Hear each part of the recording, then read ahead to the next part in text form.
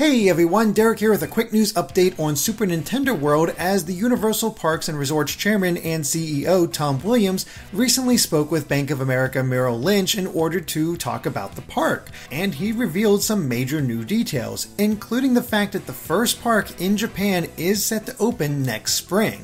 And there will be two rides at the beginning, one based on Mario Kart and one based on Yoshi. In this interview, he says it's a whole new separate area of the park. It's got food, it's got merchandise. The first phase will have two rides Super Mario Kart ride, as well as Yoshi's Adventures. The whole land is interactive, and you are going to have a wristband that's got the big red Mario symbol on it. By the way, the wristband is super cool. It's all magnetic.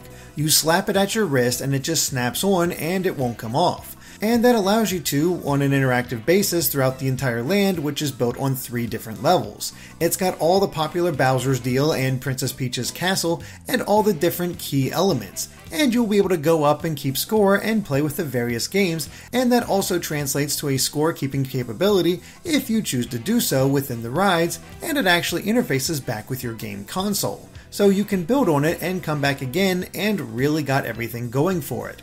It's a little weirdly transcribed, but the basic idea is that there's going to be a new wristband that you get when you enter the park, and the things you do there will earn you points, and somehow be able to interact with your game console at home.